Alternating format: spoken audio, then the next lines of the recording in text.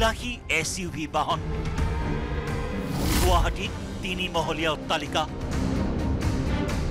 সপোন দেখি থাকোঁতেই নলবাৰী আৰক্ষীৰ জালত পৰিল প্ৰতাৰক এছ ডি অ' প্ৰেমিকাক প্ৰতাৰণা ব্লেকমেইলিঙৰ অভিযোগত ৰঙাঘৰৰ আলহী পি এইচ চিৰ S D O' Samiran Das.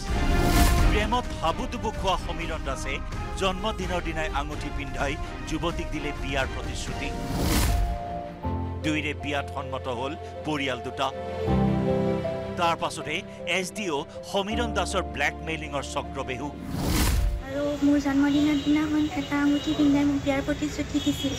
তাৰপিছত মই মোৰ মা দেউতাক ঘৰত জনাওঁ আৰু মা দেউতাই মোৰ কথা মানে মান্তি হৈ তেওঁ আৰু তেওঁৰ ঘৰৰ মানুহৰ লগত আমাৰ বিয়া ঠিক হৈছিল। হয় টকা অন্যথা বাতিল বিয়া। ল'ৰা সন্তান নথকা পৰিয়ালটোক ভয় ভাবুকিৰে কোটি টকা দাবী কৰাৰ অভিযোগ সমীৰণ দাসৰ বিৰুদ্ধে।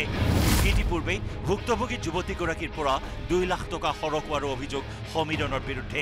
মোৰ ঘৰৰ পৰা পইচাৰ দাবী আৰু মোৰ ঘৰত ল'ৰা সন্তান নাই বুলি আমাৰ মোৰ ভাগৰ মাটিটো বিক্ৰী কৰি যাতে সিহঁতক পইচাটো মই দিওঁ আৰু তাৰমানে পইচাটো ডিমাণ্ড কৰে। কিমান টকা? প্ৰথমতে এক কোটি টকা। যদি সেইটো দিব নোৱাৰোঁ তেনেহ'লে মোৰ ভাগৰ মা পাপাৰ যি মাটি থৈছে সেই ভাগটো মানে বিক্ৰী কৰি দিব লাগে। আৰু যদি সেইও নোৱাৰোঁ তেতিয়াহ'লে গুৱাহাটীত এটা মাটি কিনি পোন্ধৰ বিছ লাখ টকা দি মোৰ ক্লিনিক খুলি দিব লাগে। সম্প্ৰতি গুৱাহাটীত কৰ্মৰত সমীৰণ দাসৰ বিৰুদ্ধে ন্যায় বিচাৰি আৰক্ষীৰ কাষ চাপিছে ভুক্তভোগী যুৱতী আৰু পৰিয়ালটো। নলবাৰীৰ পৰা কৈলাশ ডেকাৰ report news eighteen Assam north east.